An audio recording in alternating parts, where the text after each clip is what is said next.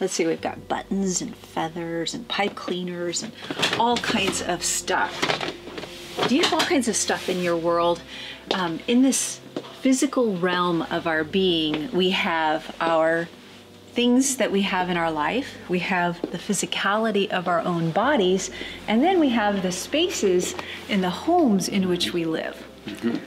So this series, we're looking at the Trinity of being, of the human being, and so that is Physical. This week we are going to be looking at the physical aspect of the trinity of our being and how we can consciously be in communion with the physicality of our life. Come to Unity Church at the Hills this Sunday. We look forward to exploring with you the spiritual dimension of our physicality.